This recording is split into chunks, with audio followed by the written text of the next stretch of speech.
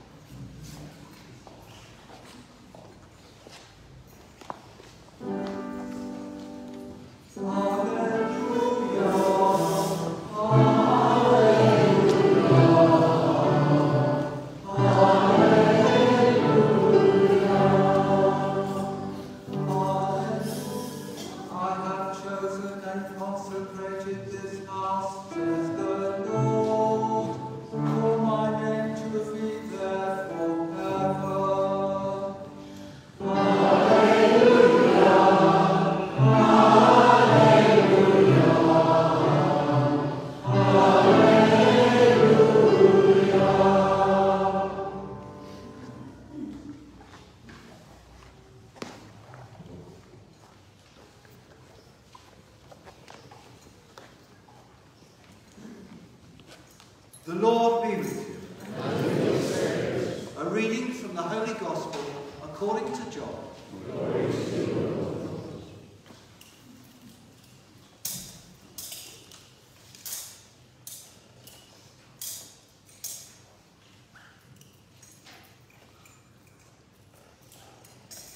Just before the Jewish Passover, Jesus went up to Jerusalem. And in the temple, he found people selling cattle and sheep and pigeons, and the money changers sitting at their counters there. Making a whip out of some corn, he drove them all out of the temple, cattle and sheep as well, scattered the money changers' coins, knocked their tables over, and said to the pigeon sellers, Take all this out of here, and stop turning my father's house into a market. Then his disciples remembered the words of Scripture. Zeal for your house will devour me. The Jews intervened and said, What sign can you show to justify what you have done? Jesus answered, Destroy this sanctuary, and in three days I will raise it up. The Jews replied, It has taken 46 years to build this sanctuary. Are you going to raise it up in three days? But he was speaking of the sanctuary that was his body. And when Jesus rose from the dead, his disciples remembered that he had said this. And they believed the scripture and the words he had said.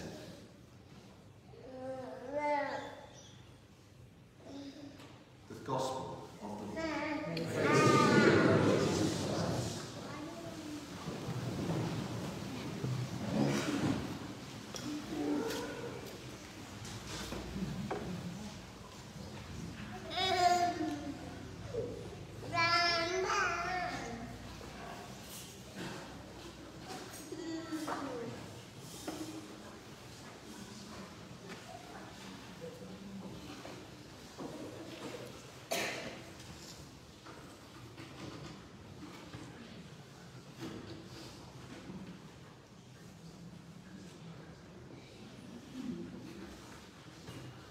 every year in the parish office, we have to go through an exercise where we have to count up uh, how many uh, First Holy Communions, baptisms, marriages, etc. that have been celebrated, and we have to do a pastoral return uh, to the diocese because they love statistics.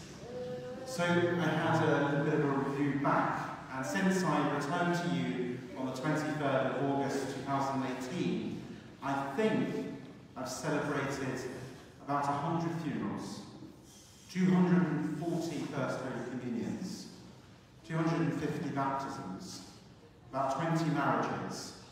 I've perfected the Eucharist about 2,000 times, to say nothing of the countless confessions and anointings that have taken place over the time.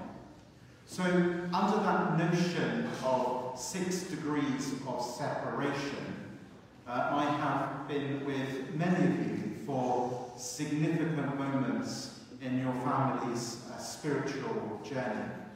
That's the great privilege of the life of a parish priest, to accompany you and lead you to paradise.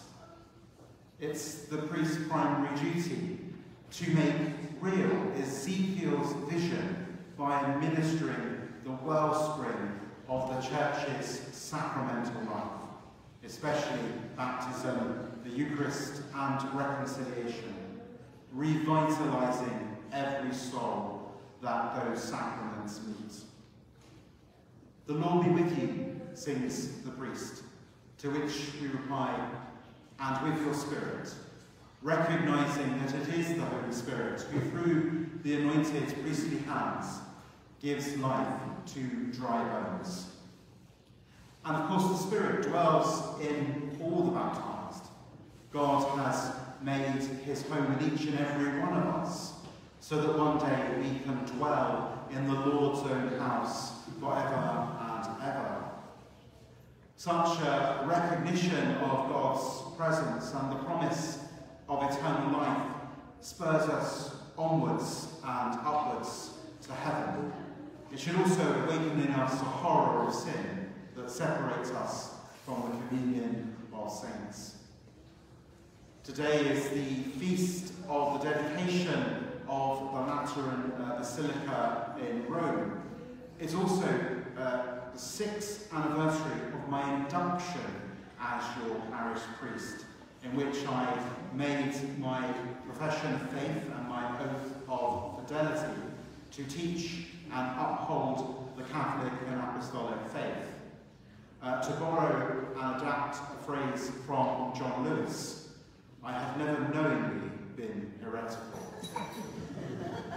you can always prove me wrong.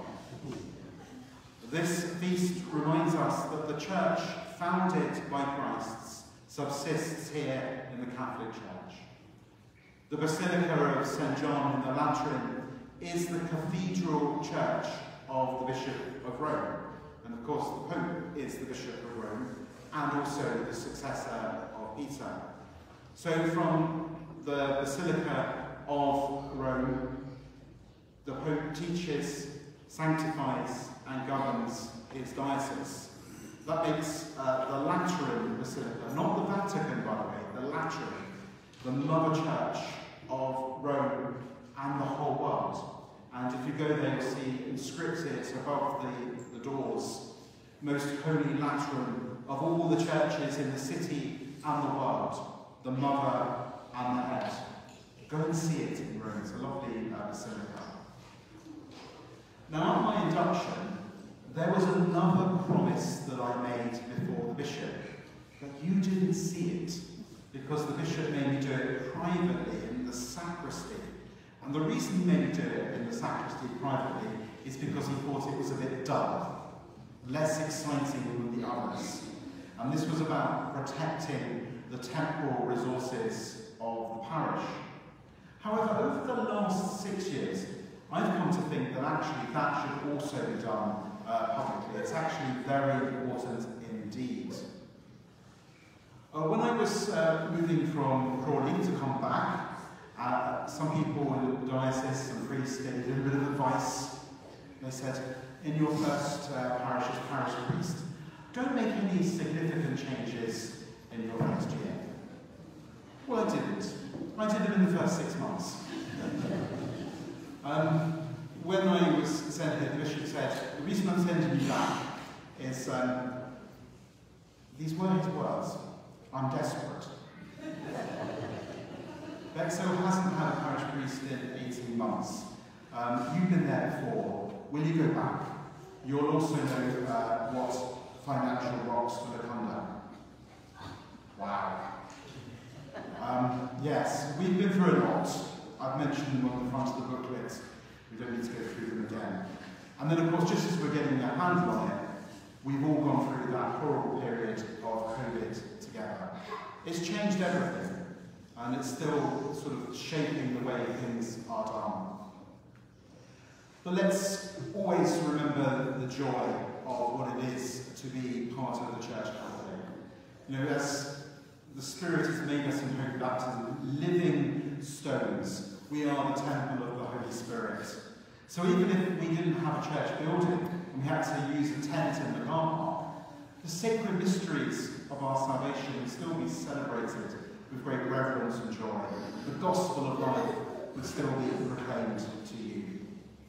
Now, since that publication of the pastoral plan, and you should have all read it by now, know, Deacon Simon and I have been preaching sustainability and self-sufficiency. So we're all very relieved that the Bishop has appointed a replacement priest for us in Bexhill and Little Common. So when Father Stephen comes, he'll come with his own strengths, he'll come with his own weaknesses, there'll be things that he knows how to do really well, There'll be other things that he hasn't got the faintest idea how to deal with it. That's okay. Just help him, support him. Ask him, what do you need from us, Father? We want to be co-workers with you in the vineyard. Each and every one of us, priests and people together, must play our part in the work of salvation, giving our resources, our time, our talents, our money to support the mission of the church. The salvation of souls is only possible if all Christians accept their commission to go from here and announce the gospel of the Lord. So, as I said to you so often, go, my brothers and sisters, claim your baptismal dignity to build up the kingdom of God. Proclaim to society Christ crucified and risen. Tell them of your joy in encountering Jesus in this parish Remind others that outside the church they can find everything they want except salvation. Let's say to them the words of the psalmist. I rejoice when I heard them say, Let us go to God's house.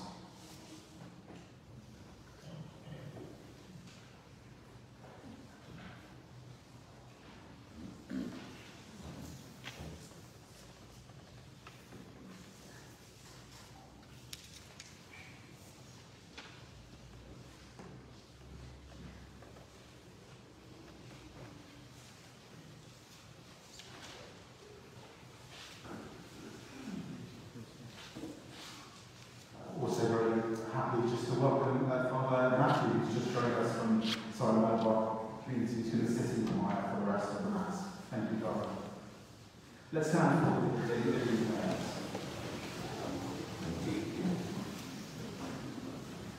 My dear brothers and sisters, the Lord is about to enter his temple. He who is and who was and who is to come, God among us, comes to make his way, and so we pray. For the parish of Our Lady of the Rosary, Bexhill on Sea. May all parishioners continue to let their light shine. Lord, in your mercy. For Father Simon, who has served us faithfully these last six years. May he continue to flourish in his priestly ministry. Lord, in your mercy. For our parish and deanery school, May they make vocations to the priesthood a priority. Lord, in your mercy. For the town of Bexhill, including Little Common. May the Catholic Church be a sacrament of Christ's presence to our community. Lord, in your mercy. For the sick, the housebound, the lonely, the bereaved, and all those in need.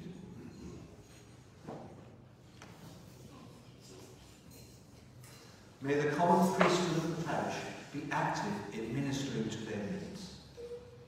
Lord, in your mercy. For the Holy souls, especially those fallen in war.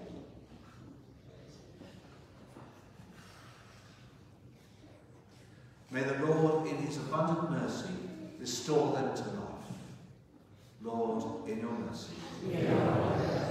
May Our Lady of the Rosary pray for us and with us as we say, Hail Mary, full of grace, the Lord is with thee. Blessed art thou among women, and blessed is the fruit of thy womb, Jesus. Holy Mary, Mother of God, pray for us sinners now and at the hour of our death. Amen.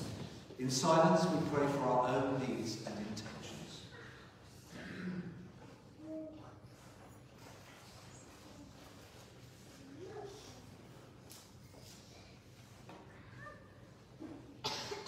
Almighty Father, we maintain communion with the Church Catholic throughout the world, and so we ask you to hear and answer our prayers through Christ our Lord. Amen.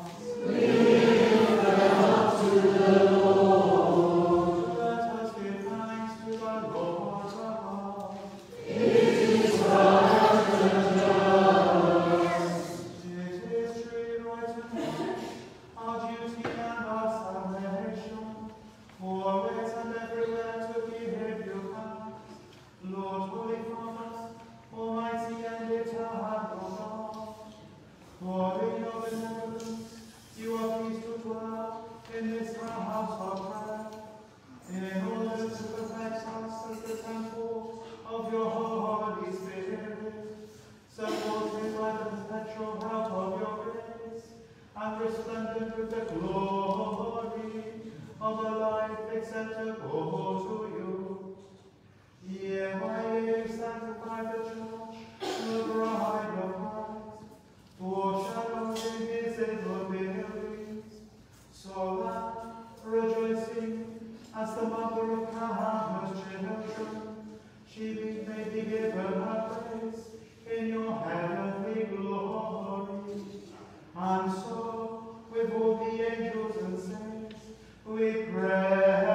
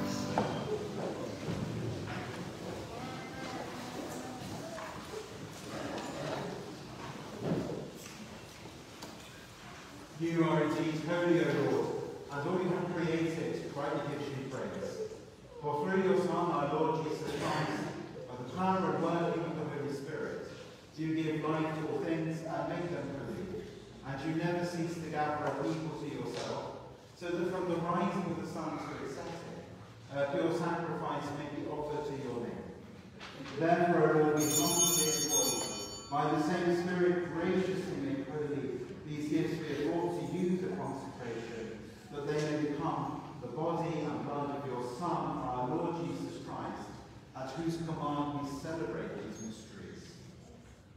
For on the night he was betrayed, he himself took bread, and giving thanks, he said the blessing, broke the bread, and gave it to his disciples, saying, Take this, all of you, and eat of it, for this is my body, which will be given up for you.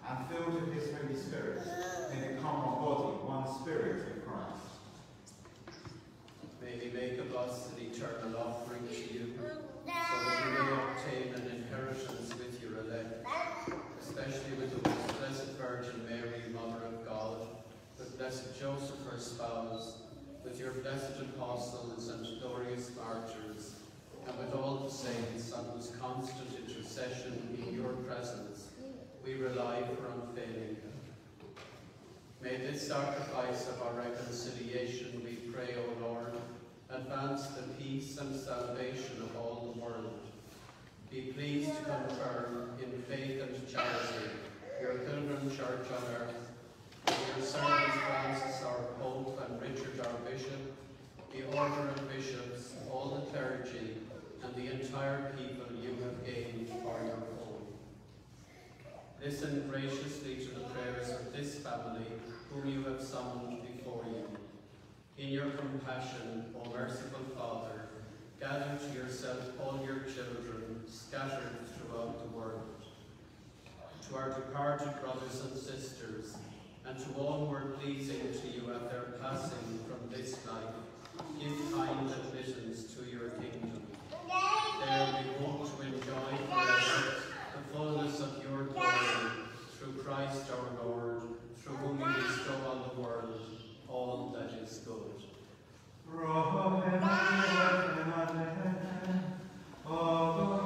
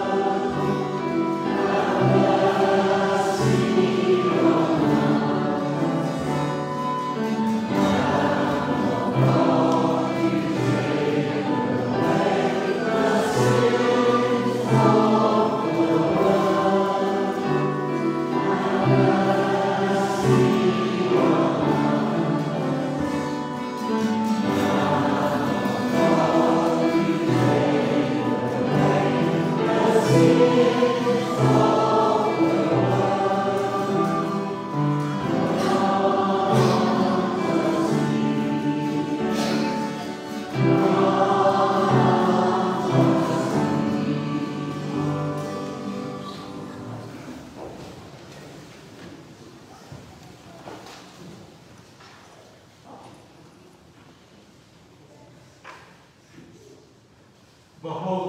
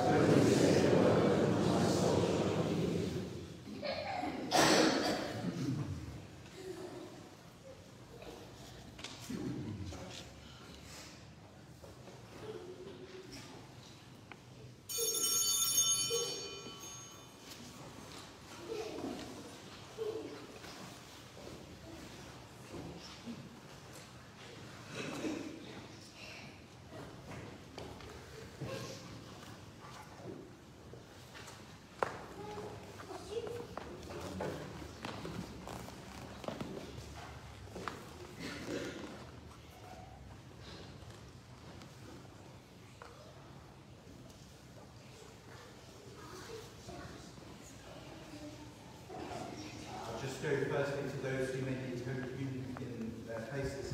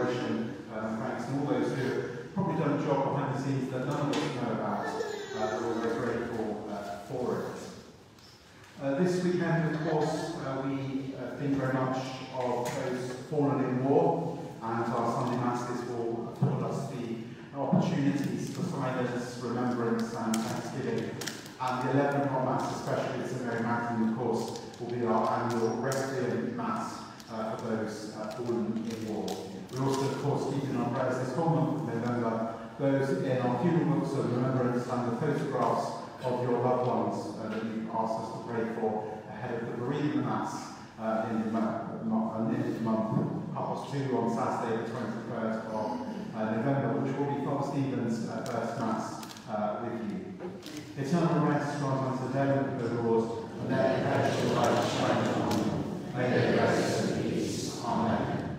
I didn't feel like I conclude without telling you something about the building um, in terms of what's going on. Yes, it's a bit cold and chilly this morning. Um, you know that we're waiting for a part of the plan.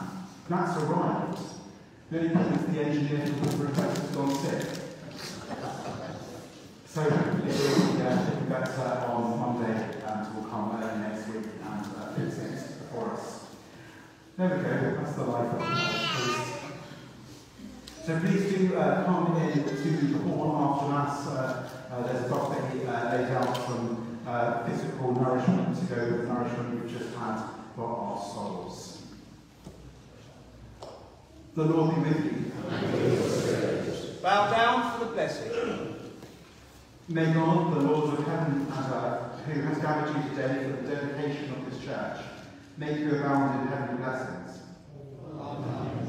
And may you, he who has willed that all his scattered children should be gathered together in his Son, grant that you may become his temple and the dwelling place of the Holy Spirit.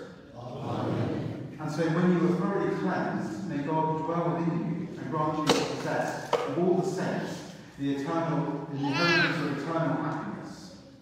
Amen. And may the blessing of Almighty God, the Father, and the Son, and the Holy Spirit come down upon you and remain with you forever. Amen. Go in peace, glorifying the Lord by your life. The angel of the Lord declared unto Mary, Hail Mary, full of grace, the Lord is with thee. Blessed art thou